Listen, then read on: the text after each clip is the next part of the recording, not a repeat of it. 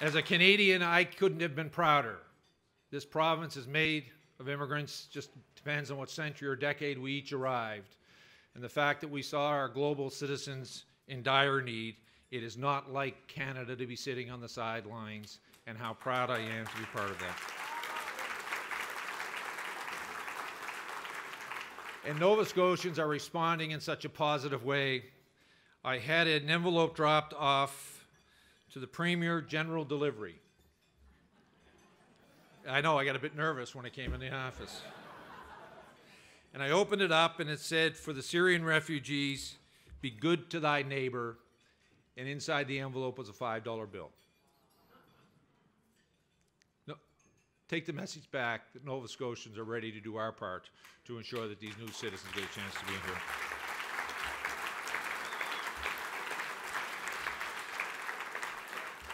A little over two years ago, I was given the privilege to be your premier.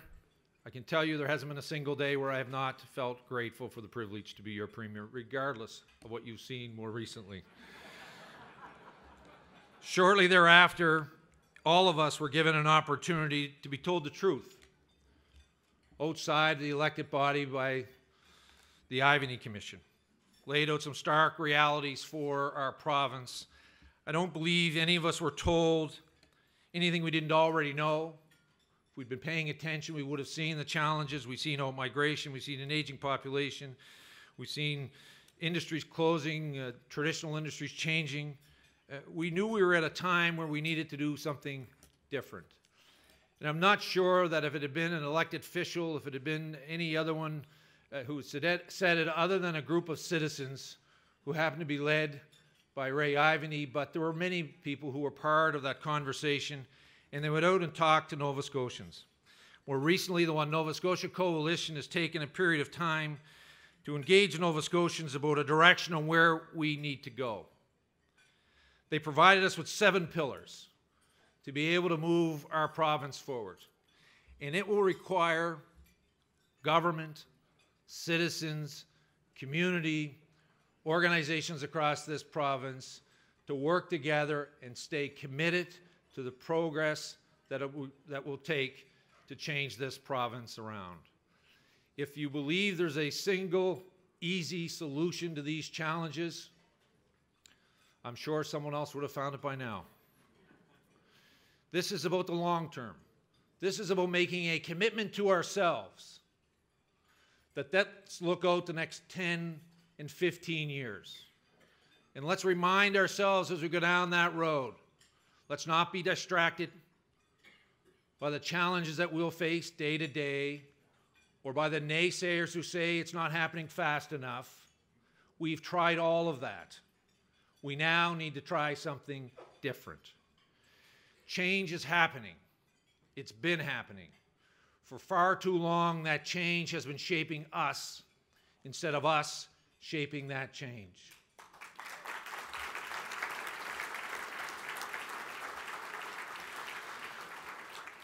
So, this not only requires a commitment to each other and to ourselves, it requires a commitment to the next generation of young Nova Scotians. Contrary to what you may have seen yesterday, public education has been a major priority for our government, and it will continue to be so and we will continue to be focused on classrooms across this province, trying to drive results that will give our children an opportunity to achieve and aspire to the same things each and every one of us were given by our parents. We've, even through all of these tough times, even through all of these tough times, we've increased funding in public education in classrooms and programs. We've invested in the early years. We've invested in earlier centers in every school board across this province to give families who need support with young children, to provide an opportunity for those children who may need an extra help, to provide them to get off to a solid foundation. It is a long term commitment, one that we may not see the results of next year. But if we stay focused and committed to it, we will see the results in 5, 10, 15, and 20 years in every parts of this province, in every community across this province, driving economic development, driving job creation, and providing opportunity for the next generation of young Nova Scotians to aspire to what we want in this province.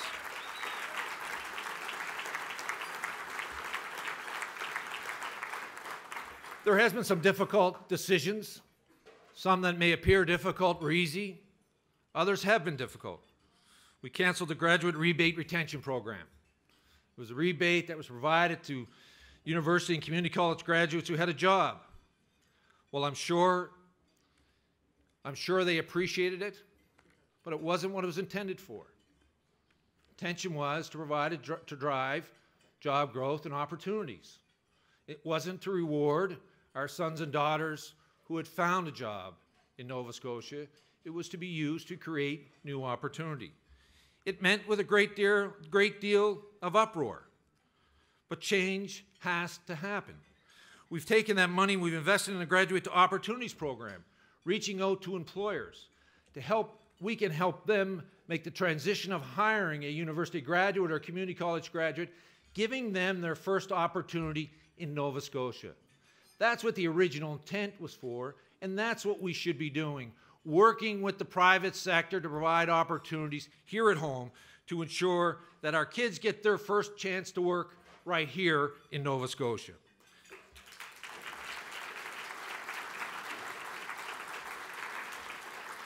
We most recently announced the opening or the creation of actually eliminating the two year work experience to work in the public sector.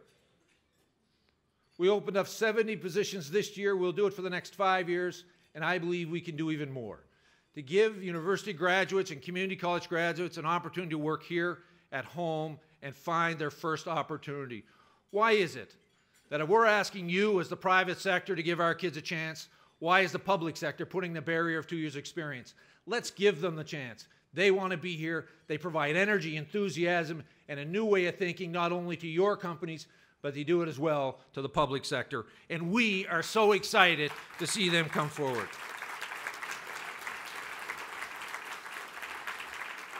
It's been overwhelming to see the expressions on the face of these young people when we talk to them about these opportunities. We've been inundated with young people who want to stay here. As I get a chance to talk to companies who want to come to Nova Scotia, IBM is here looking to grow RBC. They get so excited about the multicultural workforce that we have in Nova Scotia. And that is driven, quite frankly, by our university sector. And I think we need to continue, continue to remind ourselves, because it's easy to pick at it, but we need to continue to remind ourselves what an asset our universities and community colleges are to our communities. Not only as wonderful, wonderful educational institutions that I think can compete with any in the country and even beyond, but they bring 20,000 young people to Nova Scotia. 20,000 people come to Nova Scotia. 7,000 or so from abroad, 13,000 Canadian sons and daughters come here to get a university or community college education by changing some of the program opportunities, we can retain them. I'm going to tell you, and I know there's a few university presidents here and who, people who are involved with the universities. You can't find me a young person that comes to Nova Scotia for four years who doesn't want to stay here to be able to build a life for themselves.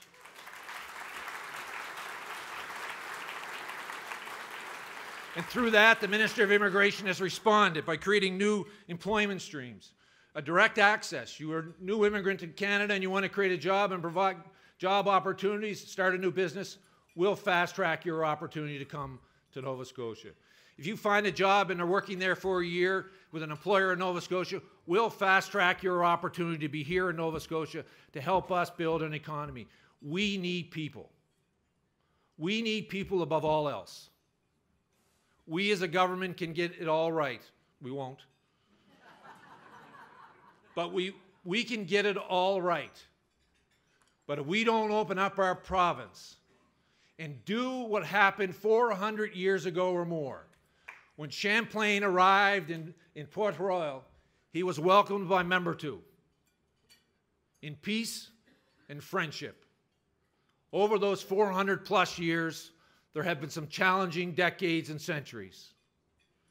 But I believe we're sitting at an opportunity to return to the foundation that was extended, the hand that was extended to our ancestors, a hand of peace and friendship by Membertou and the Mi'kmaq of our province.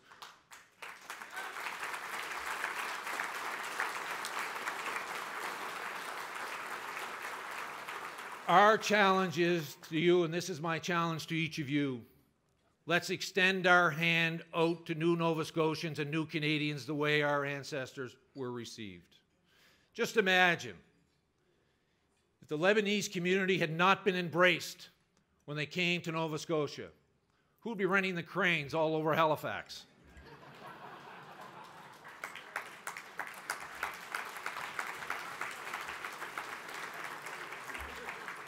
this idea that they're taking our children's jobs is a false idea, and it's a recipe for the status quo. The status quo is not good enough, it's not acceptable. And the matter of fact, their notion is simply wrong. Just look at who's hiring our children. It's either first or second generation Nova Scotian who's providing opportunity, adding to what's already been taking place here. This is our chance. Scott, sorry, Minister Brison, this is our chance. And I throw the torch out to say to the national government and work hand in hand because Scott and I have talked about this. There's no godly right way to say this. But when Saskatchewan and Manitoba get the privilege of inviting 5,000 new, new Canadians to their province, so should we.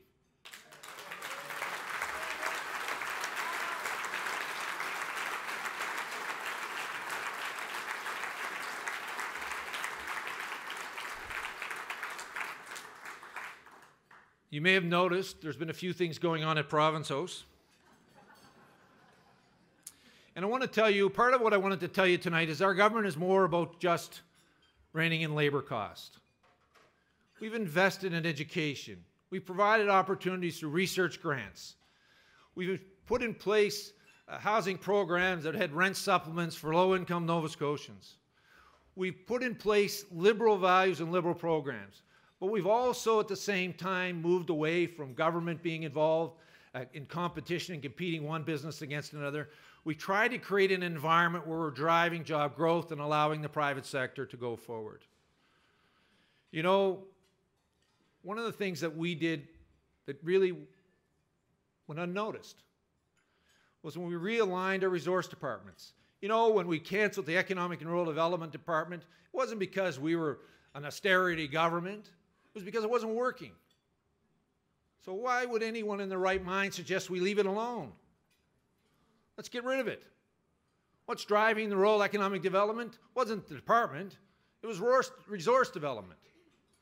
So we're putting in those departments a business focus, a business development officer whose job is to go out and provide the environment to allow the private sector to maximize our resources in an environment, environmentally friendly way.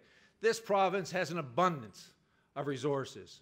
We can maximize them, we can value them, we can work with our partners all across our province, from private sector to the First Nations community, to ensure that we're doing it in a sustainable way and providing jobs all across Nova Scotia.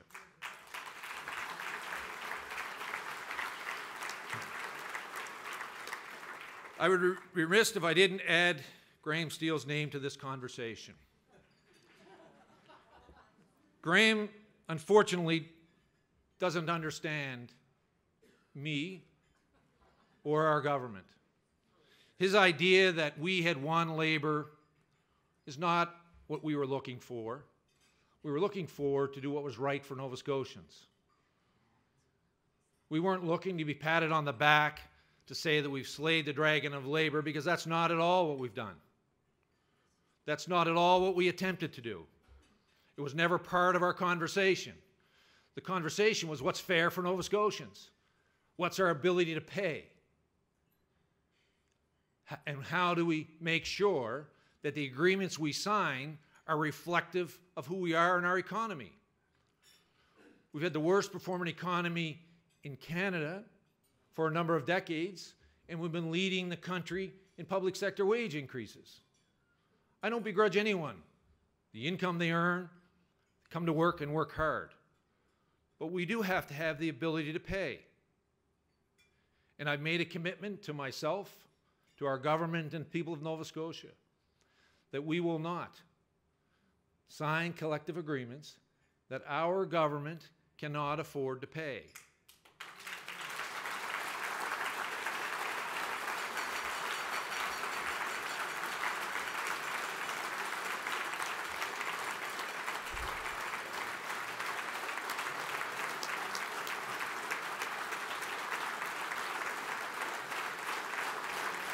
Thank you. Thank you.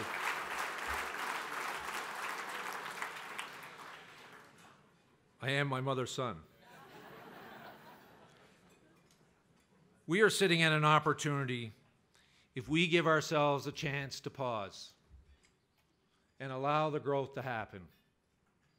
In my lifetime, we have continued to spend projected growth before we've ever earned it. It hasn't worked for us. It hasn't worked. Let's have a moment of pause and allow the growth to happen. Create good public policy that allows you to invest, that allows uh, jobs to be created, and allow that growth to occur in communities across this province, and quite frankly, allow the revenue to grow inside of our province. We're in a deficit situation, but we're sitting at great opportunities. We have a national government that wants to invest in infrastructure we want to participate. But in order to do so, we have to have funding.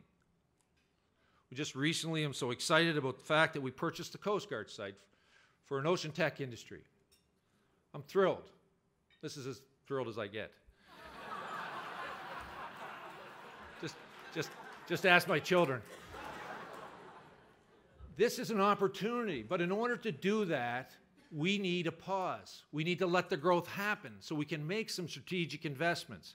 If we make all of that commitment, all of the growth, if we commit all of the growth to our contract settlements, what's left? How do I provide that investment that we'll need to take our partners in the private sector, our university sector, to create, to create a wonderful ocean tech park across our province that will create new jobs for young people in Nova Scotia? We can't do it. Only, only will we be able to do it if we stay true to who we are and believe that we can deliver on agreements and only agreements that we can afford to pay. Because I want to take an opportunity to invest. I want to create an opportunity to invest not only in that ocean park, I want to create an opportunity to invest in Volta. We're young people, it's amazing. You get around them, you know, I said this recently in my high school graduating class. I was, I think I was the only person who created my own job and went to work for myself. You go into a high school class today or a university class today, they all want to work for themselves. We just need to create the environment. That's why we need to invest in Ocean Tech Park. It's why we need to invest in Volta. We need to allow them to create that opportunity to take their idea, not be afraid, quite frankly, not be afraid to fail.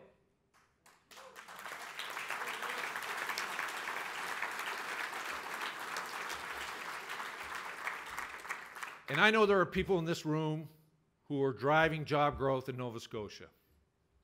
I have another ask of you. Continue to do that. But when you see a young person, provide them some mentoring. You see a young person coming out of our community college or universities that says to you, I got an idea, provide them some mentoring. I'm so proud of our two children, Colleen and Jeffrey. You know, I know this young man who I think he's going to be an entrepreneur. But you know what? Somebody's offered him some support and advice. It's the best education any young person could ever receive. It really is. If we do this together, we can not only achieve what Ivany was expecting us to achieve, I think we can far surpass it. But it requires us to change. It requires us all. And everyone suggests they embrace that idea until the change gets a little too close to home. I know I have some municipal partners that are here tonight. I say this to you my hometown no longer exists. We still call it Bridgetown, though. But the citizens of that town have a representative sitting on the county council. We need to look about how we deliver services different to the citizens of our respective governments. When citizens themselves are applying to the Utility Review Board to have dissolution, we might want to start paying attention. We might want to start paying attention. They've got some great ideas. But it requires all of us to change and change our thinking. This task in front of us, we have laid some groundwork. We have a bit more to do in terms of us to getting us to an opportunity where we'll grow and be able to invest strategically in the economy of this province. But we can't do it alone. One of the astute things that came out of the Ivany report was of the 19 goals, two of them were actually speaking to government, directly to government. The remaining 17, we were a minority shareholder in. We had a role to play, but they were driven by community or by private sector. We're seeing communities respond. Pictou County 2020, we're seeing people respond in Lunenburg. We're seeing people respond across communities wanting to be part of allowing this to grow. Allowing to, they want to be able to do their part. But we need that encouragement. We need to know that we're going forward, that everyone is in this and moving and pushing. If you're from Pictou County, the hotbed of liberalism now,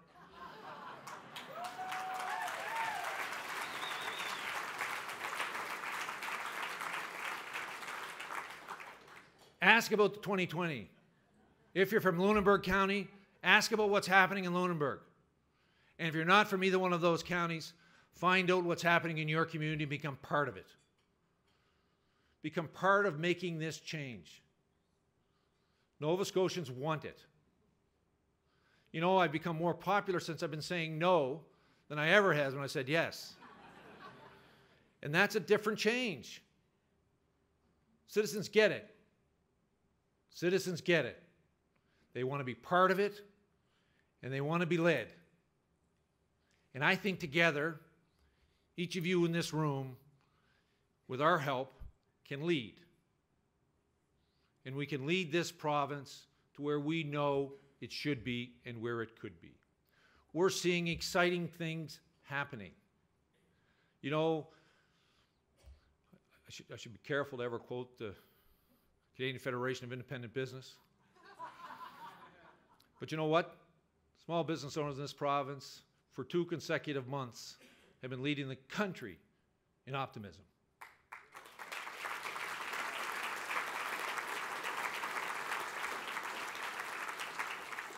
In surveys, Nova Scotia companies have been leading the country and say they're going to hire. Let's not panic. There are some challenging days ahead. Let's not, and I say this to my colleagues, let's not get focused on the next election. The next election is a referendum on the last four years, maybe five. just to keep you guessing, just to keep you guessing. And if we do those years right, the election looks after itself. The election looks after itself. But it means, it means staying committed to what's in the best interest of this entire province. It means staying committed to building partnerships with private sector. It remains staying committed to the fact that we don't have to do it all. That we as a government should say thank you to nonprofit organizations who are doing work across this province and how can we supplement them and help them continue to do more.